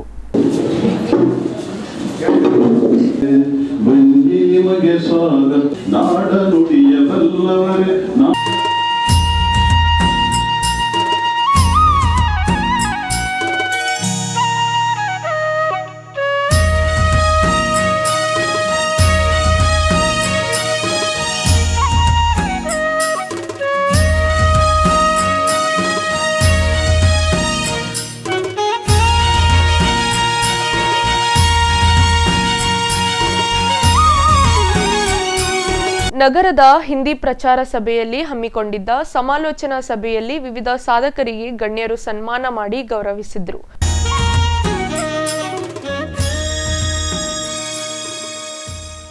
ಬಳಿಕ ಸಭೆಯನ್ನುದ್ದೇಶಿಸಿ ಹೈದರಾಬಾದ್ ಕರ್ನಾಟಕ ಜನಪರ ಹೋರಾಟ ಸಂಘರ್ಷ ಸಮಿತಿಯ ಅಧ್ಯಕ್ಷ ಲಕ್ಷ್ಮಣ್ ದಸ್ತಿ ಮಾತನಾಡಿದ್ರು. ಯಾಕಂದ್ರೆ ಯಡಿಯೂರಪ್ಪ ಅವರು ಮುಖ್ಯಮಂತ್ರಿ ಆದ ತಕ್ಷಣ ಯಾರೇ ಪಾರ್ಟಿ ಇರಲಿ, ಇವತ್ತ ನಮ್ಮ ರೇವು ನಾಯಕ್ ಬೆಳಗ್ಗೆ ಸಾಹೇಬ್ರು ಯಾವ ಪಾಠ ಆಗಿರಲಿ ಇದ್ದಿದ್ದು ಯಾವ ಮನುಷ್ಯ ಮಾಡಿದ್ದ ಬೆಳಿಬೇಕು. ಯಡಿಯೂರಪ್ಪ ಅವರು ಸಿ ಎಂ ಜಾಸ್ತಿ ನಮ್ಮ ಭಾಗಕ್ಕೆ ಒತ್ತು ಕೊಟ್ಟರು ಹಿಂದಕ್ಕೆ. ಮತ್ತು ಈಗಲೂ ಸಿ ಎಂ ಆದ್ಮೇಲೆ ನಮ್ಮ ಅಮರನಾಥ್ ಪಾಟೀಲ್ ಅವರು ನಮೋಶಿ ಅವರು ಒಂದು ಕೆಲವೊಂದು ವಿಷಯಗಳು ನಮ್ಮ ಬೇಡಿಕೆಗಳು ನಾವು ಇಟ್ಟೀವಿ. ಮೂರ್ನೂರ ಎಪ್ಪತ್ತೊಂದನೇ ತರ ಪ್ರತ್ಯೇಕ ಸಚಿವಾಲಯ ಆಗಬೇಕು ಅಂತ ಹೇಳಿ, ಮತ್ತು ವಿಶೇಷ ಕೋಶ ಕಚೇರಿಯಲ್ಲಿ ಶಿಫ್ಟ್ ಆಗಬೇಕು. ಆಮೇಲೆ ಏನದಲ್ಲ, ಇದರಲ್ಲಿ ಅಮೆಂಡ್ಮೆಂಟ್ ಆಗಬೇಕು ಅಂತ ಕೇಳ್ಕೊಂಡಾಗ ಅವು ಡಿಮ್ಯಾಂಡ್ಗಳ ಬಗ್ಗೆ ಅವ್ರು ಘೋಷಣೆ ಮಾಡಿದ್ರು ಸೆವೆಂಟೀನ್ ಸೆಪ್ಟೆಂಬರ್ ಅವು ಇಂಪ್ಲಿಮೆಂಟ್ ಆಗಬೇಕಾಗ್ಯದ. ಮತ್ತು ರೈಲ್ವೆ ಡಿವಿಷನ್ ಬಗ್ಗೆ ಏನದಲ್ಲ ನಮ್ಮ ನೆನೆಗುದಿಗೆ ಬಿದ್ದದ? ರಾಜ್ಯ ಸರ್ಕಾರನು ಅಧಿಕೃತವಾಗಿ ಅದಕ್ಕೆ ನಮ್ಮ ಸರ್ಕಾರ ಒತ್ತಡ ತರಬೇಕಾಗ್ಯದ. ಮತ್ತು ಗುಲ್ಬರ್ಗ ಅಭಿವೃದ್ಧಿ ವಿಷಯದಾಗ ಕಲಬುರಗಿ ಸಮಸ್ಯೆಗಳು ಇವತ್ತು ಸುಮಾರು ಮೂವತ್ತು ವರ್ಷಗಳಿಂದ ನಮ್ಮ ಉದಾಹರಣೆಗಾಗಿ ಹೇಳ್ತೀನಿ ಕಂಡಿ ಮಾರ್ಕೆಟ್ ಸಮಸ್ಯೆ, ಇಂಥವೆಲ್ಲ ಸಣ್ಣ ಪುಟ್ಟ ದೊಡ್ಡ ಸಮಸ್ಯೆಗಳು ನಮ್ಮಲ್ಲಿ ಕುಂತವ. ಆ ಸಮಸ್ಯೆಗಳು ಸಮಸ್ಯೆಗಳಾಗ್ಬಿಡ್ದವ. ಅದಕ್ಕೆ ನಮೋಸಿ ಸಾಬ್ರಲ್ಲಿ ಮತ್ತು ಅಮರನಾಥ್ ಪಾಟೀಲ್ ಅವರಲ್ಲಿ ನಾವು ವಿನಂತಿ ಮಾಡ್ತೀವಿ, ಮಾನ್ಯ ಮುಖ್ಯಮಂತ್ರಿಗಳ ಅಧ್ಯಕ್ಷತೆಯಲ್ಲಿ ನಮ್ಮ ಭಾಗದ ಸಚಿವರು, ಸಂಸದರು, ಶಾಸಕರು, ಮಾಜಿ ಶಾಸಕರು ಸಂಬಂಧಪಟ್ಟಂತ ಅಧಿಕಾರಿಗಳದು ಸಭೆ ಕರೆದು ನಮ್ಮ ಭಾಗದ ಪ್ರತ್ಯೇಕ ಸಚಿವಾಲಯ ಬಗ್ಗೆ ಮೀಟಿಂಗ್ ಕರೆ ತನಕ ಅದು ಇಂಪ್ಲಿಮೆಂಟ್ ಆಗಲ್ಲ, ಅದು ರೂಪುರೇಷೆಗಳಾಗಲ್ಲ. ಆ ನಿಟ್ಟಿನಲ್ಲಿ ಏನದಲ್ಲ ಇವತ್ತಿನ ದಿವಸ ನಾವು ಸಮಾಲೋಚನೆ ಸಭೆ ಮಾಡಿ, ನಾವು ನಿಮ್ಮ ಮುಖಾಂತರ, ನಾವು ಈ ಸಂದರ್ಭದಲ್ಲಿ ಜನರಿಗೆಲ್ಲ ತಿಳುವಳಿಕೆ ಹೇಳಬೇಕು, ತಿಳುವಳಿಕೆ ಮೂಡಿಸ್ಬೇಕಂತ ಒಂದು ಸಭೆ ಮಾಡ್ತಾ ಇದ್ದೀವಿ. ಯಾಕಂದ್ರೆ ಈ ಸಂದರ್ಭದಲ್ಲಿ ರೇವು ನಾಯಕ ಬೆಳ್ಮಗಿ ಶಶಿಲ್ ನಾಮೋಶಿ ಅಮರ್ನಾಥ್ ಪಾಟೀಲ್ ಪ್ರಕಾಶ್ ಮಂಡೋತ್ ಪ್ರಭಾಕರ್ ಜೋಶಿ ಸೇರಿದಂತೆ ಅನೇಕ ಗಣ್ಯರು ಉಪಸ್ಥಿತರಿದ್ದರು. ವಿಶ್ವೇಶ್ವರಯ್ಯ ತಾಂತ್ರಿಕ ವಿಶ್ವವಿದ್ಯಾಲಯದಡಿ ವಿಟಿಯು ಸೆಮಿನಾರ್ ಹಾಲ್ನಲ್ಲಿ ಟೇಕು ಒನ್ ಪಾಯಿಂಟ್ ತ್ರೀರ ಬೋಧಕ ವರ್ಗದವರ ಅಭಿವೃದ್ಧಿ ಕುರಿತು ಸಪ್ತಾಹ ಕಾರ್ಯಕ್ರಮದಲ್ಲಿ ಗಣ್ಯರು ಜ್ಯೋತಿ ಬೆಳಗಿಸಿ ಕಾರ್ಯಕ್ರಮ ಉದ್ಘಾಟಿಸಿದರು. TechCube sponsored one week faculty development and Biju Patnaik University of Technology, Odisha. सत्य हे तुझा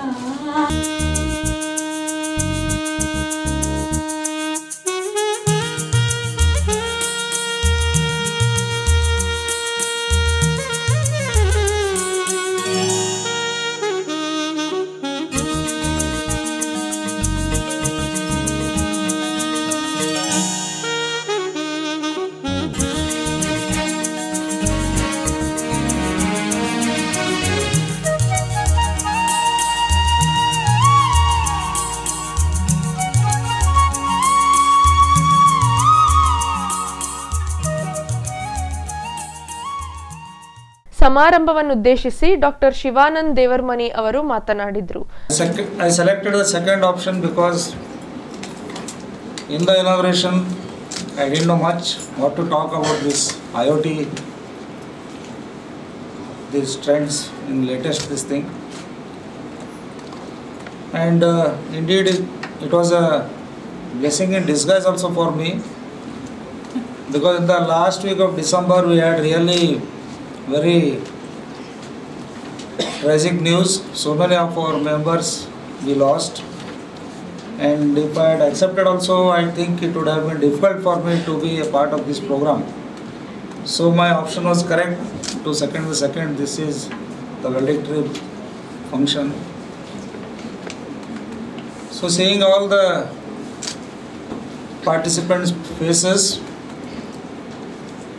Dr. Basara Gadge told me that initially they were given permission for 50 delegates only, 50 registrations. But as the time approached, the latest statistics was 92. Congratulations, sir. Indeed, you have done a very good thing to accommodate the extra registrations. And uh, I don't know why you were restricted to 50 only because you have got adequate space. I think you can easily accommodate 100 here. So whenever in the future if you conduct such faculty development programs, my request is to make it minimum 100 registrations so that most of the delegates would be helped and it helps to enrich their knowledge also. Indeed, I am very much happy to see some of our HK Society staff also here. They are very much here. I congratulate them also. And these things, these faculty development programs should be a continuous ongoing process. In our society also, especially in our PD Engineering College, ಅದೇ ರೀತಿ doctor ಕರ್ಗಶನ್ ಅವರು ಸಹ ಅನಿಸಿಕೆ ವ್ಯಕ್ತಪಡಿಸಿದ್ರು ಆದರೆ ತುಂಬ hatch patch ಆಗಿತ್ತು ತುಂಬ ಕಷ್ಟಪಟ್ಟು ಈ ವಿ ಟಿ ಯು ಕ್ಯಾಂಪಸ್ಗೆ ಸಂಪೂರ್ಣ ತಹಬಂದಿ ತಗೋಬೇಕು ಅಂತ ಹೇಳಿ ಆಗಿನ ಮಾರ್ಗದರ್ಶಕದ ವಿ ಟಿ ಯು ವೈಸ್ ಚಾನ್ಸಲರಿಂದ ಹಿಡಿದು ಎಲ್ಲರೂ ಸಹಕಾರ ತಗೊಂಡು ಇಡೀ ಕ್ಯಾಂಪಸ್ಗೆ ಕಾಂಪೌಂಡ್ ಹಾಕ್ಸಿದೆ. ಅದರ ಜೊತೆಗೆ ಗೌರ್ಮೆಂಟ್ ಕಾಲೇಜ್ಗೂ ಕಾಂಪೌಂಡು ಮತ್ತು ಉಳಿದ ಸಂಸ್ಥೆಗಳಿಗೂ ಕಾಂಪೌಂಡ್ ಹಾಕಿ ಅದನ್ನು ಹದ್ದುಪಸ್ತು ಪಡೆದೆ. ಈ V T U regional campuses foundation ಹಾಕಬೇಕು ಅಂತ ಹೇಳಿ ಆಗಿನ ಕಾಲದ ಏಳು ಮಿನಿಸ್ಟರ್ಸ್ ಬಂದರು. ಇದೆಲ್ಲ ಸಹಕಾರಗಳಿಂದ ವಿ ಟಿ ಯು ಇಲ್ಲಿ ಸ್ಟಾರ್ಟ್ ಆಯಿತು. ನಾನು ಸ್ಪೆಷಲ್ ಆಫೀಸರ್ ಕಾಲದಲ್ಲಿ ಸುಮಾರು ತೊಂಬತ್ತೆಂಟು ಪರ್ಸೆಂಟು ಬಿಲ್ಡಿಂಗ್ಗಳೆಲ್ಲ ಕಂಪ್ಲೀಟ್ ಆಗಿತ್ತು. ನ್ಯಾಷನಲ್ ಟೆಂಡರ್ ಕರೆದು ಟೈಮ್ ಲಿಮಿಟ್ ಕೊಟ್ಟು ಎಲ್ಲ ಕೆಲಸ ಮಾಡಿದ್ವಿ. ಆದರೂ ಅನೇಕ ರೀಜ ಕೆಲಸಗಳಿಂದ, ಒತ್ತಡಗಳಿಂದ ಸ್ವಲ್ಪ ಡಿಲೇ ಆಯಿತು. ನಾನು ಇಲ್ಲಿಂದ ಹೋಗೋ ಕಾಲಕ್ಕೆ ನೈಂಟಿ ಪರ್ಸೆಂಟ್ ಕೆಲಸಗಳಾಗಿತ್ತು. ಪಿ ಜಿ ಕೋರ್ಸ್ ಇನ್ನೂ ಅಲ್ಲೇ ಇತ್ತು, ನಮ್ಮ ಪಿ ಡಿ ಎ ಕಾಲೇಜಲ್ಲಿ ಅಲ್ಲೇ ಇತ್ತು ಕ್ಯಾಂಪಸ್ಸು ನಂತರ ಎಂಟರ ಸುಮಾರಿಗೆ ಇಲ್ಲಿಗೆ ಸ್ಟ ಇ ಟಿ ಯು ಪ್ರಾರಂಭ ಆಯಿತು. ಆಗ ಬರೀ ಬಿಲ್ಡಿಂಗ್ಗಳು ಅಷ್ಟೇ ಇತ್ತು. ಸುಮಾರು ತದನಂತರ ಸುಮಾರು ಏಳು engineering course M C A ಮತ್ತು ಒಂದು ಮತ್ತು ಎಂ ಎಂ ಬಿ ಎ ಹೀಗಾಗಿ ಒಂಬತ್ತು ಕೋರ್ಸ್ಗಳು ಈ ಭಾಗದಲ್ಲಿ ಪ್ರಾರಂಭ ಆಯಿತು. ನಾಲ್ಕು ರೀಜನಲ್ ಆಫೀಸ್ಗಳಲ್ಲಿ ಇದು ತುಂಬಾಗಿ ಚೆನ್ನಾಗಿ ಕೆಲಸ ಮಾಡ್ತಂತ ಹೇಳಿ ನಮ್ಮ ಪ್ರಾಂತದಲ್ಲಿ ಹೆಸರು ಗಳಿಸಿದೆ. ಅದಕ್ಕೆಲ್ಲ ಕಾರಣರು ನಮ್ಮ ವಿ ಟಿ ಯು ಯಾರ್ಯಾರು ವೈಸ್ ಚಾನ್ಸಲರ್ ಆಗಿದ್ದರೋ ಅವ್ರದ್ದೆಲ್ಲ ಮಾರ್ಗದರ್ಶನ ಅದರ ಪ್ರಕಾರವಾಗಿ ಈಗ ಬಂದಿದೆ. ಕೇವಲ ಹತ್ತು ವರ್ಷಗಳಲ್ಲಿ ಈ ಹದಿನೈದು ಎಕರೆ ಕ್ಯಾಂಪಸ್ಸು ಸಾಲದಾಗಿದೆ ಈಗ. ಹೀಗಾಗಿ ಈಗಿನ ಪ್ರಾದೇಶಿಕ ಅಧಿಕಾರಿಗಳು ಇದನ್ನು ಇನ್ನೂ ಎಕ್ಸ್ಪ್ಯಾನ್ಷನ್ ಮಾಡಬೇಕು ಅಂತ ಹೇಳಿ ಇನ್ನೂ ಹತ್ತು ಹದಿನೈದು ಎಕರೆಗೆ ಅವರು ಗೌರ್ಮೆಂಟಿಗೆ ಸರ್ಕಾರಕ್ಕೆ ಪ್ರಸ್ತಾವನೆ ಸಲ್ಲಿಸ್ತಾ ಇದ್ದಾರೆ. ಆದರೆ ಹದಿನೈದು ಎಕರೆನೂ ಸಾಲದು. ಹದಿನೈದು, ಇಪ್ಪತ್ತು ವರ್ಷದಲ್ಲಿ ಬೆಳೆ ಬಿಡ್ಬೋದು. ಯೂನಿವರ್ಸಿಟಿ ಬೆಳೆಯುತ್ತೆ.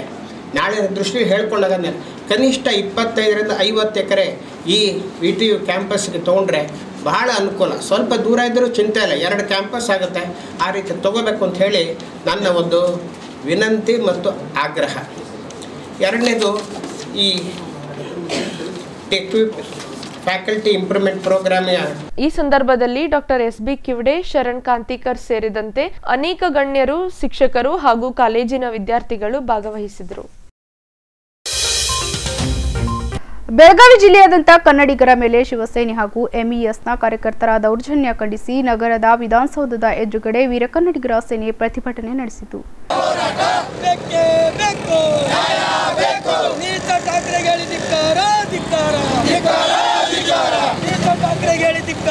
ಧಿಕ್ಕಾರ. ಮಹಾರಾಷ್ಟ್ರದಲ್ಲಿ ಅಧಿಕಾರದ ಚುಕ್ಕಾಣಿ ಹಿಡಿಸಿರುವ ಮುಖ್ಯಮಂತ್ರಿ ಹಾಗೂ ಶಿವಸೇನೆ ಮುಖ್ಯಸ್ಥ ಉದ್ಧವ್ ಠಾಕ್ರೆ ಅವರು ಪದೇ ಪದೇ ಬೆಳಗಾವಿಯನ್ನ ಒಡೆಯಲು ಹೊಂಚಾಕ್ತಿದ್ದಾರೆ. ಬೆಳಗಾವಿ ಜಿಲ್ಲೆಯಲ್ಲಿ ಕನ್ನಡದ ಬಾವುಟವನ್ನ ಸುಟ್ಟು ಹಾಕಿ ಕನ್ನಡಿಗರ ಮೇಲೆ ಹಲ್ಲೆ ಕೂಡ ಮಾಡಿರುವ ನಾಡದ್ರೋಹಿಗಳನ್ನ ಗಡೀಪಾರು ಮಾಡಬೇಕು. ಹಾಗೂ ಅಲ್ಲಿನ ಕನ್ನಡಿಗರಿಗೆ ಸೂಕ್ತ ರಕ್ಷಣೆ ನೀಡಬೇಕೆಂದು ಸೇನೆಯ ಅಧ್ಯಕ್ಷ ಅಮೃತ್ ಪಾಟೀಲ್ ಸಿರ್ನೂರ್ ಅವರು ಆಗ್ರಹಿಸಿದ್ದಾರೆ. ಸೇನೆಯ ನೇತೃತ್ವದಲ್ಲಿ ಇವತ್ತು ನೂರಾರು ಕಾರ್ಯಕರ್ತರು, ಇವತ್ತು ಮಾನ್ಯ ಜಿಲ್ಲಾಧಿಕಾರಿಗಳ ಮುಖಾಂತರ ಉದ್ದಾಟತನದ ಮತ್ತು ಹಂಬತನದ ಹೇಳಿಕೆಯನ್ನು ನೀಡಿ ಇವತ್ತು ಕರುನಾಡಿನಲ್ಲಿ ಒಂದು ಗೊಂದಲವನ್ನು ಸೃಷ್ಟಿ ಮಾಡಿದ ಉದ್ಭವ್ ಠಾಕ್ರೆ ಅವರ ಒಂದು ಭಾವಚಿತ್ರವನ್ನು ದಹಿಸುವ ಮುಖಾಂತರ ನಾವು ಠಾಕ್ರೆ ಅವರಿಗೆ ಎಚ್ಚರಿಕೆಯನ್ನು ಕೊಡ್ತಾ ಇದ್ದೀವಿ. ಎಷ್ಟೇ ಸರ್ಕಾರ ಬಂದರೂ, ಎಷ್ಟೇ ಮುಖ್ಯಮಂತ್ರಿ ನೀವು ಮಹಾರಾಷ್ಟ್ರದಲ್ಲಿ ಆದರೂ ಕೂಡ ಕರ್ನಾಟಕದ ಒಂದು ಹಿಡಿ ಮಣ್ಣು ಕೂಡ ಮಹಾರಾಷ್ಟ್ರಕ್ಕೆ ಒಯ್ಲಿಕ್ಕೆ ಸಾಧ್ಯ ಇಲ್ಲ ಅಂತ ನಾವು ಈ ಮಾಧ್ಯಮ ಮುಖಾಂತರ ಹೇಳಕ್ಕೆ ಬಯಸ್ತಾ ಇದ್ದೀವಿ. ಇವತ್ತು ಈ ಕರ್ನಾಡ ನೆಲದಲ್ಲಿ ಎಲ್ಲ ಭಾಷೆಯರು, ಎಲ್ಲ ಧರ್ಮೀಯರು ಅಣ್ಣ ತಮ್ಮಂದರಂತೆ ನಾವು ಜೀವನ ಮಾಡ್ತಾ ಇದ್ದೀವಿ.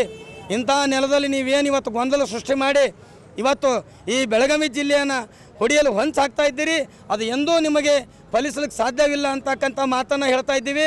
ದಯಮಾಡಿ ಇಂಥ ಉದ್ದಾಟತನದ ಹೊಂಬತನದ ಹೇಳಿಕೆಯನ್ನು ಬಿಟ್ಟು ಇಲ್ಲಿ ಇರ್ತಕ್ಕಂಥ ಎಲ್ಲ ಧರ್ಮೀಯರ, ಎಲ್ಲ ಭಾಷೆಯರಿಗೆ ಒಳ್ಳೆಯದಾಗಲಿ ಆಗ್ತಕ್ಕಂಥ ಒಂದು ಭವಿಷ್ಯವನ್ನು ಇಟ್ಕೊಂಡು ಮೊದಲು ನೀವು ಮುಂಬೈಯನ್ನು ಮಹಾರಾಷ್ಟ್ರನ ಉದ್ಧಾರ ಮಾಡ್ತಕ್ಕಂಥ ಕೆಲಸಕ್ಕೆ ಕೈ ಹಾಕ್ರಿ ಕರ್ನಾಟಕ ಕೆಲಸಕ್ಕೆ ಕೈ ಹಾಕ್ರಿ ಕೈ ಸುಟ್ಕೊಂಡು ಹೋಗ್ತೀರಿ ಅಂತ ಮಾತನ್ನು ಈ ಸಂದರ್ಭದಲ್ಲಿ ಹೇಳಕ್ಕೆ ಬಯಸ್ತಾ ಇದ್ದೀವಿ. ದಯಮಾಡಿ ಯಾವುದೇ ರೀತಿ ಹೇಳಿಕೆಯನ್ನು ಕೊಡದೆ ಈ ಒಂದು ಕನ್ನಡ ಕರ್ನಾಟಕದ ಕಡೆಗೆ ಒಂದು ಗಮನ ಹರಿಸದೆ, ಮಹಾರಾಷ್ಟ್ರ ಕಡೆ ಗಮನ ಹರಿಸ್ರಂತ ಇವತ್ತು ಮಾನ್ಯ ಮುಖ್ಯಮಂತ್ರಿ ನಾನು ಹೇಳಕ್ಕೆ ಬಯಸ್ತಾ ಇದ್ದೀನಿ. ಹಾಗಾಗಿ ಉಂಡ ಮನೆಗೆ ಎರಡನ್ನ ಬಗೆಯದೆ ತಾವು ಅಣತಮರಿ ಅಂತ ಏನು ಜೀವನ ಮಾಡ್ತಾ ಇದ್ದೀರಿ? ಹಾಗೆ ಮುಂದುವರಲಿ ಅಂತೇಳಿ ಎಂ ಇ ಕಾರ್ಯಕರ್ತರಿಗೆ ಮತ್ತು ಶಿವಸೇನೆ ಕಾರ್ಯಕರ್ತರಿಗೆ ಎಚ್ಚರಿಕೆಯನ್ನು ಕೊಡ್ತಾ ಇದ್ದೀವಿ ಪ್ರತಿಭಟನೆಯಲ್ಲಿ ರವಿ ವಂಟಿ ಹನುಮಂತ್ ಭಜಂತ್ರಿ ಅವಿನಾಶ್ ಮುಲ್ಗೆ ಪ್ರವೀಣ್ ಪವಾರ್ ರಿಷಿ ವಾಳೇಕರ್ ಹಾಗೂ ಇನ್ನಿತರೆ ಸದಸ್ಯರು ಪಾಲ್ಗೊಂಡಿದ್ರು ಮೇಲೆ ದೌರ್ಜನ್ಯ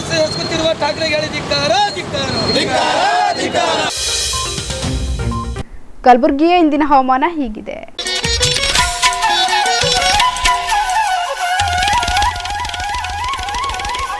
ಕಲಬುರಗಿಯಲ್ಲಿಂದು ಗರಿಷ್ಠ ಇಪ್ಪತ್ತೊಂಬತ್ತು ಡಿಗ್ರಿ ಸೆಲ್ಸಿಯಸ್ ಕನಿಷ್ಠ ಹದಿನೆಂಟು ಡಿಗ್ರಿ ಸೆಲ್ಸಿಯಸ್ ಉಷ್ಣಾಂಶ ದಾಖಲಾಗಿತ್ತು. ಕೊನೆಯಲ್ಲಿ ಮತ್ತೊಮ್ಮೆ ಹೆಡ್ಲೈನ್ಸ್ ಎಂಬತ್ತೈದನೇ ಅಖಿಲ ಭಾರತ ಕನ್ನಡ ಸಾಹಿತ್ಯ ಸಮ್ಮೇಳನ ಹಿನ್ನೆಲೆ ನಗರದ ಜಿಲ್ಲಾಡಳಿತ ಕಚೇರಿಯಲ್ಲಿ ಬಿಡುಗಡೆಗೊಂಡ ಸಮ್ಮೇಳನ ಲಾಂಛನ. ಅಖಿಲ ಭಾರತ ಕನ್ನಡ ಸಾಹಿತ್ಯ ಸಮ್ಮೇಳನದ ಮುಖ್ಯ ವೇದಿಕೆಗೆ ಸಂಪರ್ಕ ಕಲ್ಪಿಸುವ ಎಲ್ಲಾ ರಸ್ತೆಗಳನ್ನು ದುರಸ್ತಿ ಮಾಡಬೇಕು ಕಾರ್ಯನಿರ್ವಾಹಕ ಅಭಿಯಂತ ಅಮೀನ್ ಮಕ್ತಾರ್ ಸೂಚನೆ. ಚಿತ್ತಾಪುರ ತಾಲೂಕಿನ ಸುಪ್ರಸಿದ್ಧ ಸೂಗೂರು ವೆಂಕಟೇಶ್ವರ ದೇವಸ್ಥಾನದಲ್ಲಿ ಜನವರಿ ಆರರಂದು ವೈಕುಂಠ ಏಕಾದಶಿ ಉತ್ಸವ ನಾನಾ ಭಾಗಗಳಿಂದ ಆಗಮಿಸಲಿರುವ ಭಕ್ತ ಸಮೂಹ. ಇಲ್ಲಿಗೆ ಇಂದಿನ ಇನ್ ಗುಲ್ಬರ್ಗ ವಾರ್ತೆಗಳು ಮುಕ್ತಾಯವಾಗುವು. ಮತ್ತೆ ಮುಂದಿನ ಸಂಚಿಕೆಯಲ್ಲಿ ಭೇಟಿಯಾಗೋಣ. ನಮಸ್ಕಾರ. ಇನ್ ಗುಲ್ಬರ್ಗ ವಾರ್ತೆಗಳು. ಪ್ರಾಯೋಜಕರು Mahalakshmi jewellers, gold hub, main road, Kalaburagi. Devanand sari centre, super market, Kalaburagi.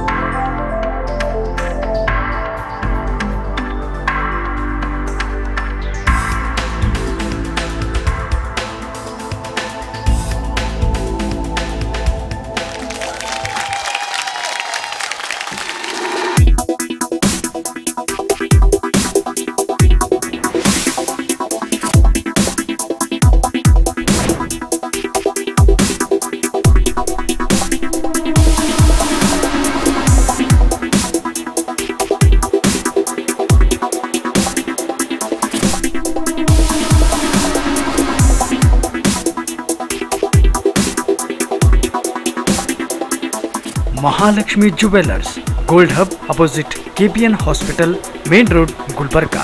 ವಿಶ್ವಾಸಕ್ಕೆ ಮತ್ತೊಂದು ಹೆಸರೇ ಮಹಾಲಕ್ಷ್ಮಿ ಜುವೆಲ್ಲರ್ಸ್ ದೇವಾನಂದ್ ಸ್ಯಾರಿ ಸೆಂಟರ್. ಹಲವು ವರ್ಷಗಳಿಂದ ಕಲ್ಬುರ್ಗಿ ಮಹಾಜನತೆಯ ಭರವಸೆ ಗಳಿಸಿರುವ ರೇಷ್ಮೆ ಸೀರೆಗಳ ಅತಿ ದೊಡ್ಡ ಶೋರೂಮ್ ಹಬ್ಬಗಳು, ಮದುವೆ, ಉಪನಯನ ಹಾಗೂ ನಿಮ್ಮ ಮನೆಯ ಶುಭ ಸಮಾರಂಭಗಳಿಗೆ ಬೇಕಾಗುವ ರೇಷ್ಮೆ ಸೀರೆಗಳಿಗೆ ದೂರದ ಬೆಂಗಳೂರು, ಹೈದರಾಬಾದ್ ನಗರಗಳಿಗೆ ಹೋಗುವ ಅಗತ್ಯವಿಲ್ಲ.